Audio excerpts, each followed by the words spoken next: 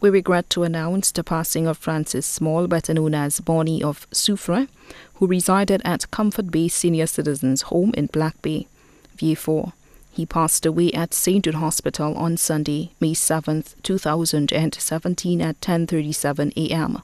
He was 84 years. The funeral arrangements of the late Francis Small, better known as Bonnie, will be announced in a subsequent broadcast. The body now lies at Rambali's funeral parlor, Latune, Vieux May he rest in peace.